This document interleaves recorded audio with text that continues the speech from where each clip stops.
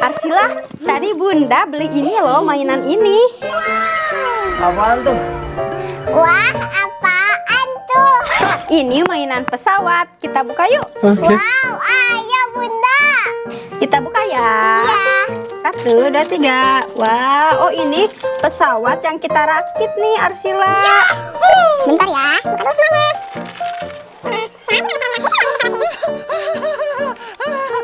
Dua jam kemudian.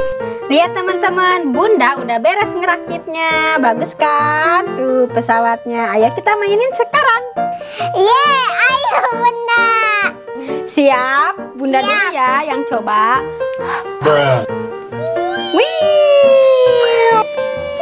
Wih. Ah.